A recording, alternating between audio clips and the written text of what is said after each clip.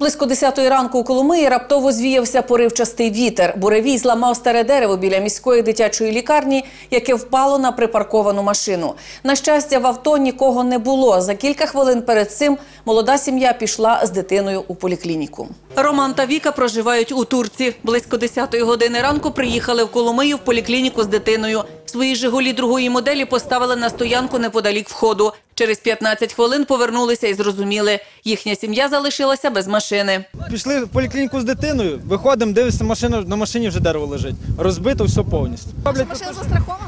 Застраховано, зараз буду до до страхового агента дзвонити, щоб знати, що вони приїхали разом з міліціонерами і тоді вже щось рішалося.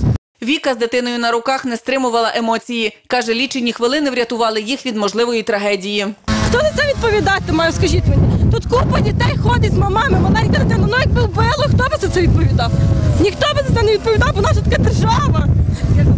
Найбільш оперативно на повідомлення відреагували манесники. Одразу взялися розчищувати дорогу для проїзду транспорту, розпилювали гілки, які впали, та небезпечні стовбури. Довелося вручну відтягувати інші автомобілі, які були припарковані в аварійній зоні. Впало дерево, зараз ми проводимо аварійні робо- роботи, забрали автомобілі, ну і виконуємо свою роботу. Я думаю, що бачите, треба всім мешканцям подивитися, де є сухі дерева, позрізати, це не любої форми власності, це є дерева міської влади, чи особисті, почищати, бачите, бо це може привести до трагедії. Догляд за деревами та й загалом зеленими насадженнями в Коломиї здійснює відділ управління комунальним майном. Тендер на видалення аварійних дерев виграла приватна фірма Зеленбуд. Станом на сьогоднішній день спеціальною комісією 78 старих дерев визнано аварійними, на що складено відповідні акти. Пояснюють у міській раді. кажуть, дерево, яке впало на машину, не було у списку небезпечних. Воно до аварійних не відносилося.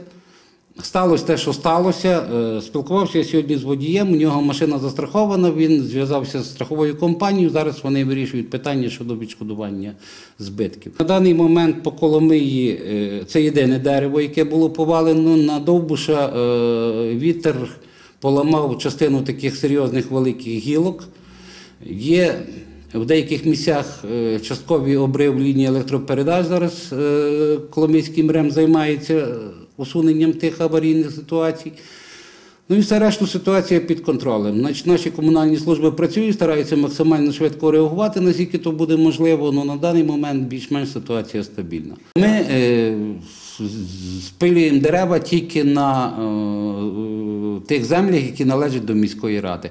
Всі інші приватні мешканці вони звертаються, наприклад, це колективне підприємство Зеленбуд, укладають з ними договір і вони видаляють туди.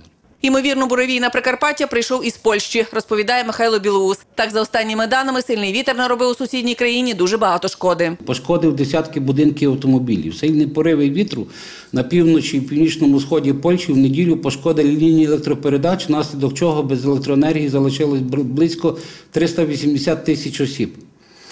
Сильний вітер, швидкість якого сягала 120 км за годину, повалив сотні дерев і пошкодив десятки будинків і автомобілів, травмовано п'ятеро людей. Пожежна служба сьогодні, це тобто вже сьогодні, майже півтора тисячі разів виїжджала за викликами для усунення наслідків стихії.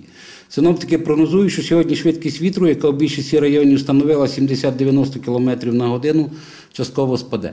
Оце, власне, е, звідки взялося цей вітер в Коломиї.